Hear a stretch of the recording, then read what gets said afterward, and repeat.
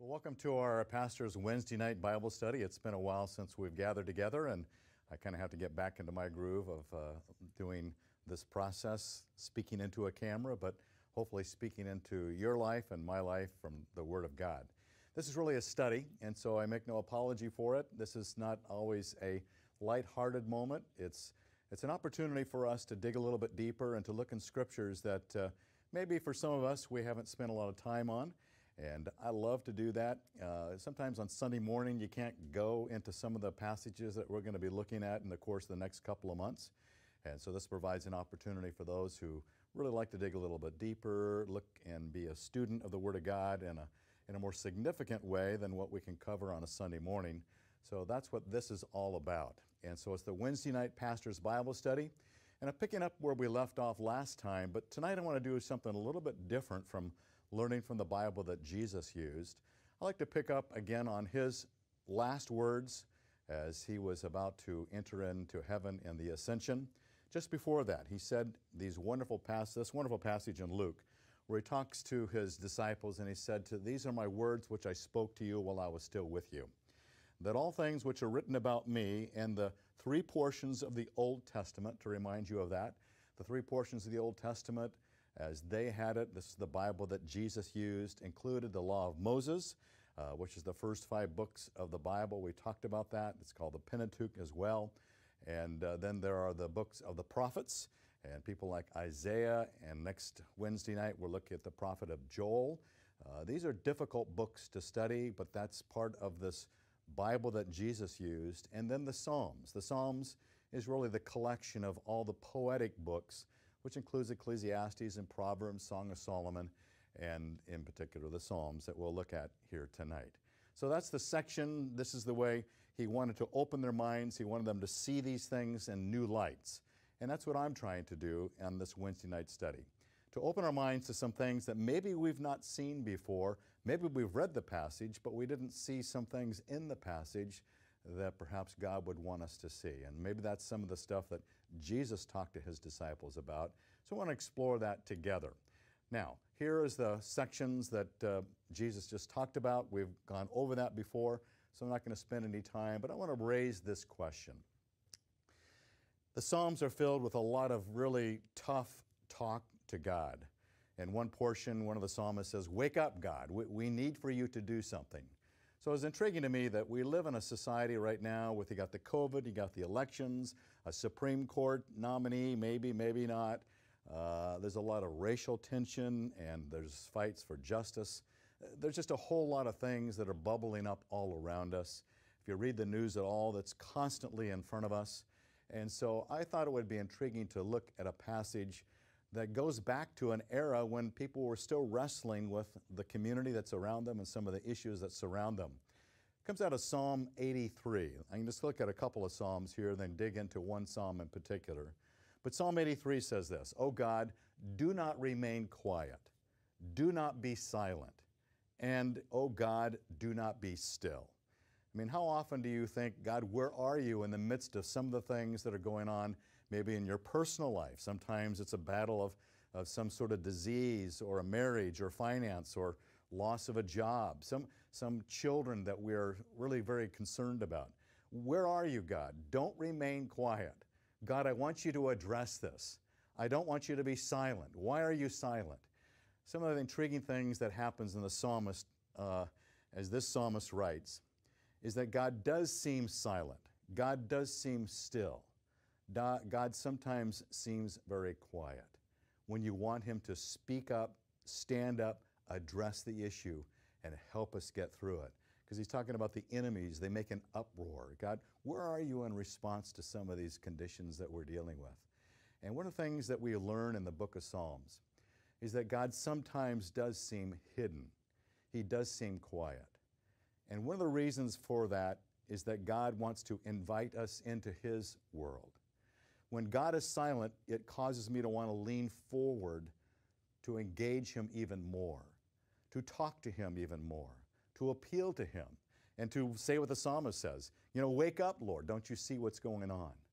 So these are, these are very real, emotional, you know, calling out to God in the Psalms, and this particular psalm helps to tee that up because God wants to invite us into His world. There are things in the scriptures that God wants to reveal to us, and sometimes they are hidden.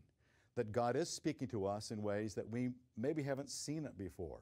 So I'd like to use these Wednesday nights to, to di- dive into passages that maybe we've read, maybe we've never read, but either way, to be able to look at passages of Scripture that are very confusing or totally misunderstood, but allow God to speak, to allow God to no longer be quiet, that He is not being still, but that He is doing something.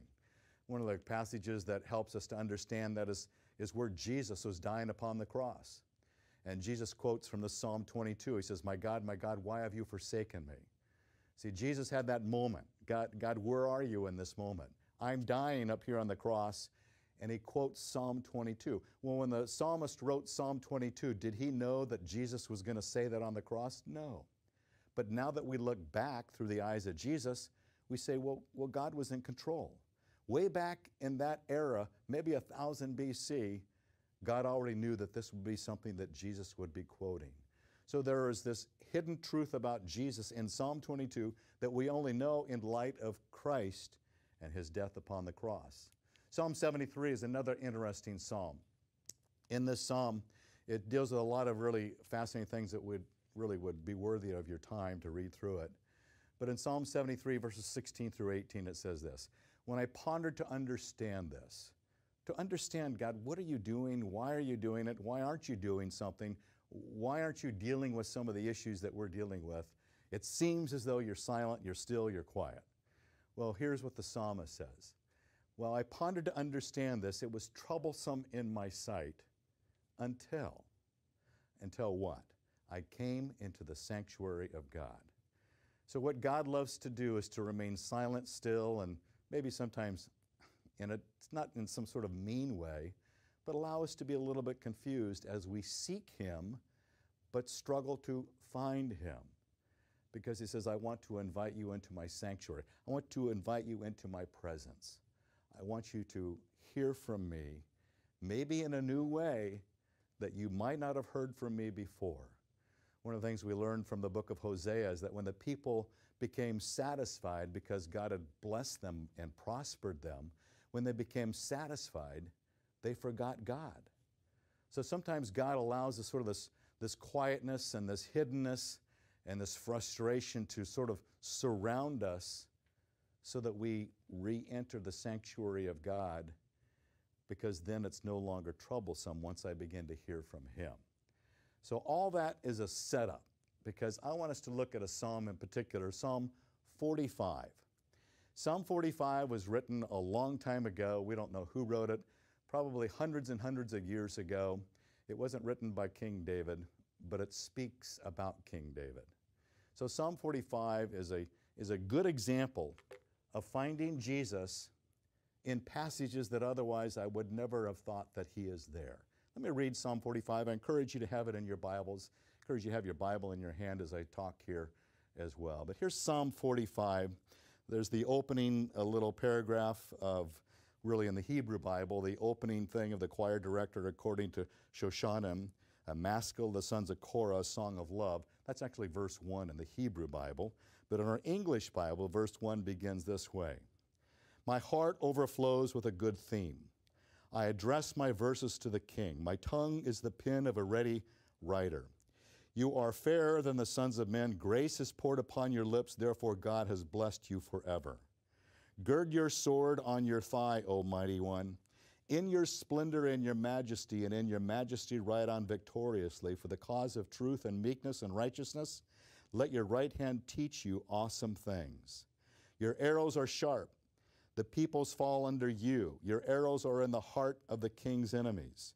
Your throne, O God, is forever and ever. A scepter of right, uh, uprightness in this, is the scepter of your kingdom.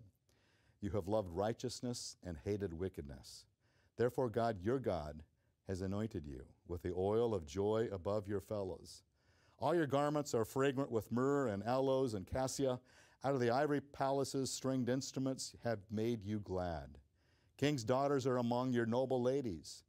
At your right hand stands the queen in the gold of Ophir. Listen, O daughter, Give attention and incline your ear. Forget your people and your father's house, then the king will desire your beauty because he is our Lord. Bow down to him. The daughter of Tyre will come with a gift. The rich among the people will seek your favor. The king's daughter is all glorious within. Her clothing is interwoven with gold. She will be led to the king in embroidered work. The virgins, her companions who follow her, will be brought to you. They will be led forth with gladness and rejoicing. They will enter into the king's palace. In place of your fathers will be your sons. You shall make them princes in all the earth. I will cause your name to be remembered in all generations. Therefore, the peoples will give thanks forever and ever. Now, you may be asking the questions I asked when I read that for the first time. What is going on here? How is that helpful for us today in the midst of some of the challenges that we face and some of the blessings that we experience as well? Psalm 45 is written to honor a king who's about to marry his bride. The first opening verses, about the first nine verses, it's all about the king. And then in verse 10 or so, it begins to talk about the bride.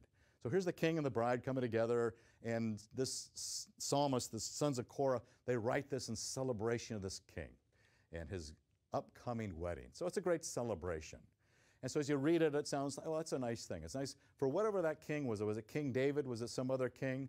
What was going on there is, is, is sort of irrelevant to me because I don't quite get it. And yet, there's something that's fascinating about this passage and many Old Testament passages that I want to continue to emphasize, and that we're going to emphasize in the next couple of months as we go through these studies together. And that is this point that there are many passages in the Old Testament that, upon basic reading, cursory reading, just seems sort of irrelevant to us. But once you begin to dig a little bit deeper, once you say, God, let me see some things that maybe I'm, maybe I'm missing and I need to understand that, you begin to see that this is more than just something that happened in the society of that contemporary writer. It's actually something that is revealing about Jesus. And that Jesus is from the Old Testament to the New Testament preeminent throughout the passages of Scripture. And until we understand Scripture as something that is all about Jesus, whether Old Testament or New Testament, we are missing much of what God would want us to enjoy. So let's dig a little bit deeper in this passage and let me show you some things. In fact, I mentioned, I should have mentioned earlier, there is an outline on the website and uh, you can use that to follow along as we go through it. But notice some of these characteristics that were written for the contemporary king of that time when the psalm was written. Well, that is this that the king comes with lips of grace. Verse 2 says, You are fairer than the sons of men. Grace is poured upon your lips. Therefore, God has blessed you forever. So, whoever this king is, maybe King David, is talking about how gracious he was in his words. And yet, when we look at the life of Jesus, Christ comes to us with words of grace and truth. John 1:14 there's many passages, but I include this one. The word became flesh and dwelt among us. We saw his glory, glories of the only begotten from the Father, full of grace and truth. So when we begin to see this psalm in light of Christ, we begin to think, well, maybe the king is not just a king in that era, but maybe it's helping us to understand the king of today, King Jesus, because King Jesus has lips of grace. We also go on and we see in this particular passage in Luke 2:40 that Jesus as a little kid, he grew up. The child continued to grow and become strong, increasing in wisdom, and the grace of God was upon him. So the King Jesus, even as a child, was known for his gracious ways. It'd be love when you love to have one of your kids be super gracious, even when they're a terrible two. That's what Jesus was. And I don't fully understand that, but that's how God raised his son to be a son full of grace. The king here in this passage, then going back to the days that the psalmist was written, the psalm was written in Psalm 45, verse 4. The king comes as a meek and gentle king. In your majesty, ride on victoriously. For the cause of truth and meekness and righteousness, let your, let your right hand teach you awesome things. Well, this king was a righteous king, but he came in meekness, or he came in humility or gentleness. As we look at this psalm in light of Jesus, we see just, well, Jesus came as a king, but he came in meekness and humility. He rides a colt, he rides a donkey. He comes and is born and lives in, a, in Bethlehem and then lives in a town of Nazareth where no good thing can come from there. There's that humility that Philippians 2 talks about, that he was born as a bondservant. He wasn't born with privilege. Well, Matthew 11, 28 describes Jesus in this way. This is what Christ talks this way about himself. Come to me, all you are weary and heavy laden, and I will give you rest. Take my yoke upon you and learn from me, for I am gentle and humble in heart. And you will have this blessing of God's provision for you. So Jesus comes in meekness. The king comes to receive his bride, and this becomes even clearer that it's about Jesus Christ, the psalm that is written. In Psalm 45, 11 through 15, it talks this way The king's daughter is all glorious within.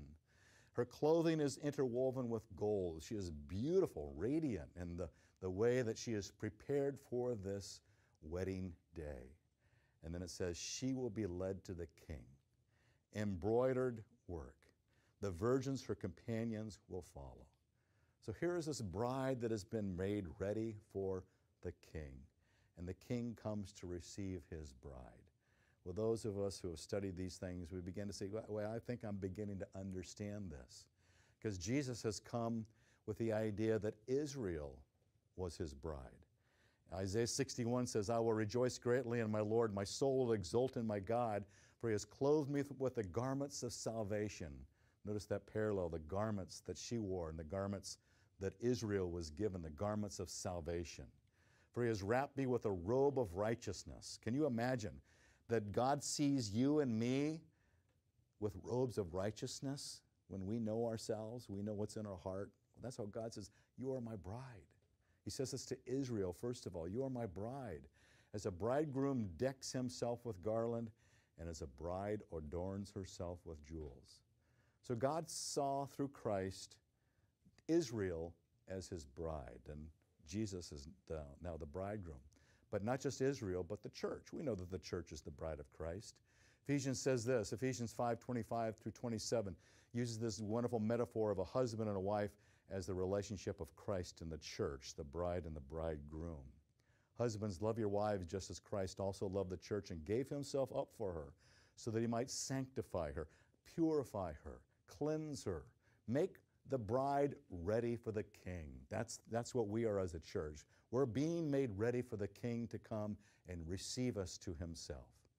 And says, though that he might present to himself the church in all of her glory, the radiant glory, like the bride of Psalm 45. She's had this all embroidered beauty that's been wrapped around her. Jesus is preparing us for that king when he wants to return and receive us to himself. And it says, so that we have no wrinkle or any such thing, but that we would be holy and blameless before Him.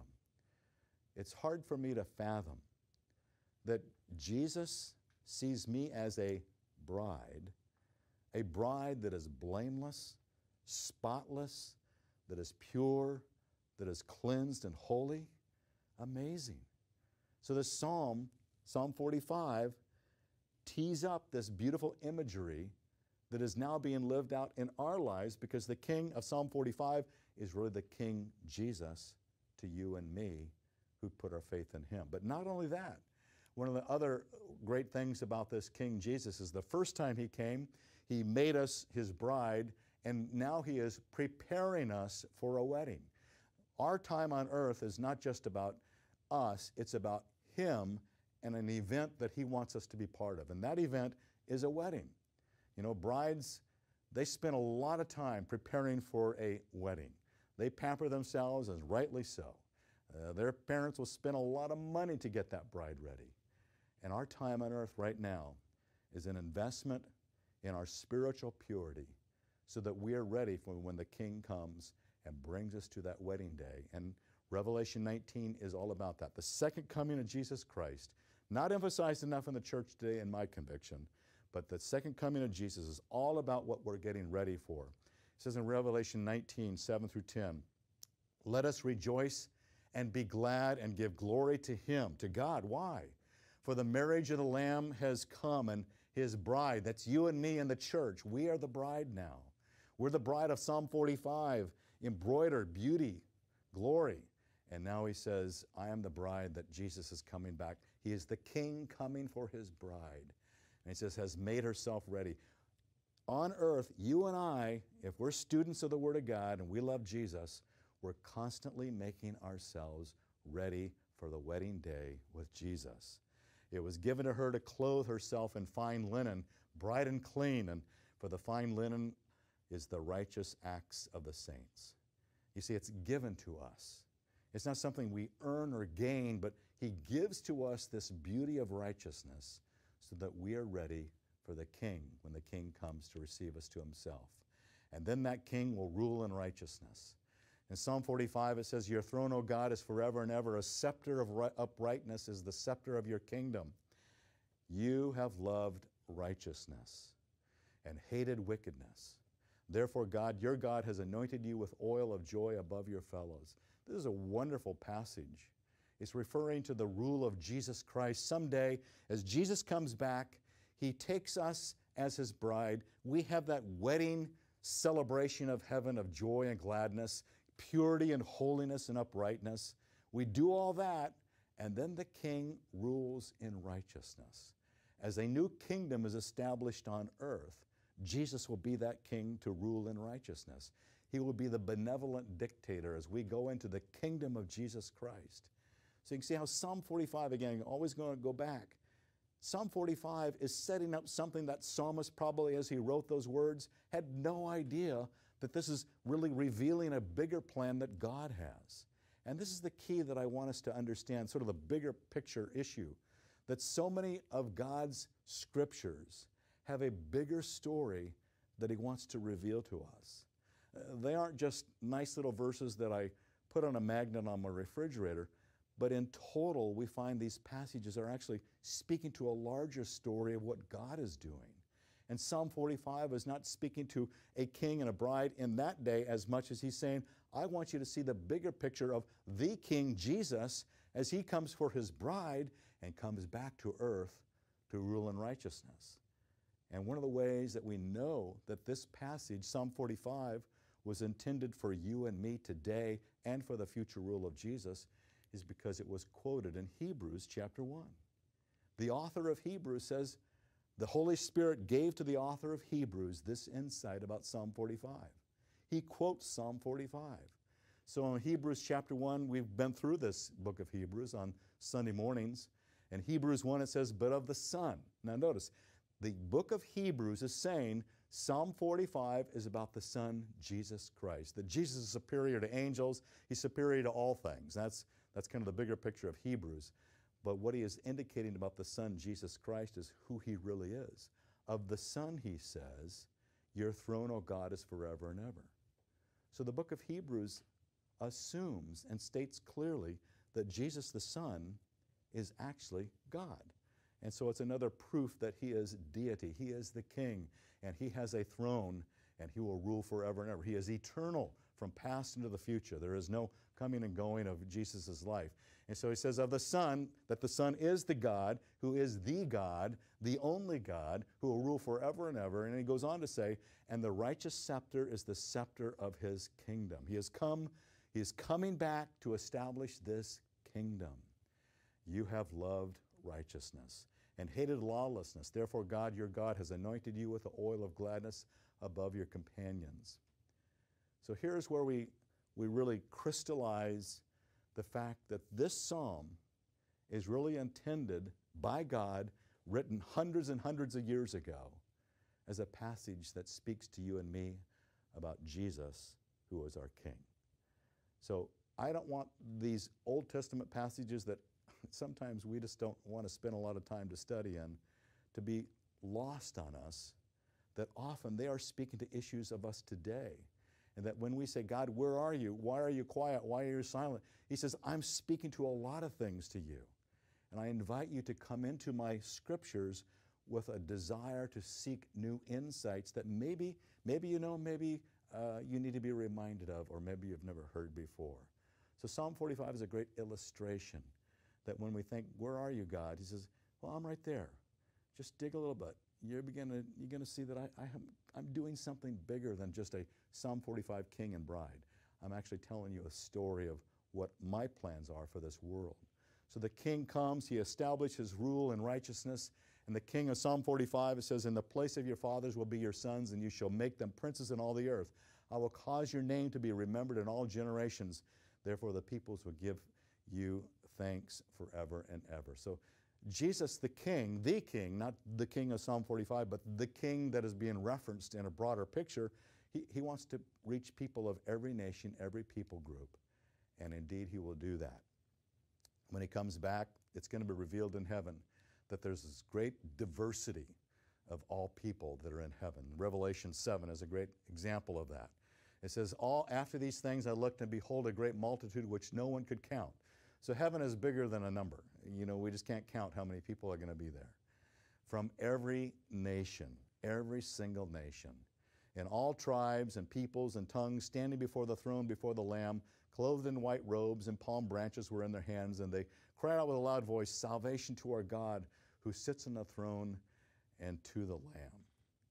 So Psalm 45 is speaking about a king that lived hundreds and hundreds of years ago. But more importantly, it's speaking about the king that wants to have a reach of righteousness into every single nation, tribe, tongue, and people group. And that's where you and I, for the cause of reach and missions, help to facilitate that as we give and as we pray and as we support our missionaries, that it goes around the world as Wycliffe gets this, this scriptures into languages of people that need to hear it and to understand it. So that's where we fit in. Acts 1 8 reaffirms that when Jesus is just about to ascend up into heaven, he says, But you will receive power when the Holy Spirit has come upon you, and you shall be my witnesses both in Jerusalem and in Judea and Samaria and even to the remotest parts of the earth. So God has a big plan. Now, let me just wrap up with this last verse. We've been in the book of Hebrews on Sunday morning, so I picked this one out, but there's many other passages that I could have used, and I think I'll list them on the outline of seeking the Lord. Hebrews chapter 11 says, I want you to seek me with all your heart. He says, without faith it is impossible to please him. For it is he who comes to God must believe that he is and that he is a rewarder of those who seek him. He's a rewarder of those who seek him. I like that. If I seek you, Lord, you will reward me. So, my invitation is as we go through these books that we're going to be looking at, I encourage you to be a student, to be a seeker, to, to say, God, give me the depth of the truth that is there because I want to be rewarded. Now, that's not to be selfish, but that it's a beautiful blessing that God wants to give to us. I love to see things in Scripture. Every time I go into passages, I think, uh, I'm reading through the book of Psalms now in my own private time. And so many times I, I read a psalm and say, I feel like I've read this for the very first time. There's, there's things that I missed the first half a dozen times that I've been through it. And that God loves to constantly reward us with a beautiful discovery of truth and understanding. To know that, God, you're not hidden, you're not quiet, you're not still. We will ask that, like the psalmist of 83. Yeah, we'll be frustrated. But what he's doing is he says, I want to I want to step back and allow you to step forward to me and seek me. And read other passages of Jeremiah, Proverbs 8 17, other passages there. They constantly ask us to seek him. So as we go through these next few months, I invite you to seek Him with me. As I study the Word of God, I want you to be a student of the Word as well. And next Wednesday night, we're going to be studying one of the most difficult books, I think, in the Old Testament. It's the book of Joel. It's only three chapters, but read through it, see what you think. I want to bring to us the understanding of Christ as the book of Joel is unfolding before us. So let's seek Jesus in the book of Joel next Wednesday night. So please join us if you would. Let me pray for us. God, thank you for your word. Thank you for how precious it is and what depth and richness there is for us who begin to get be, be rewarded by you as we seek you in your word, as we seek you in life. God, help us to always seek you as we pray this in Jesus' name. Amen. God bless you. Have a good night.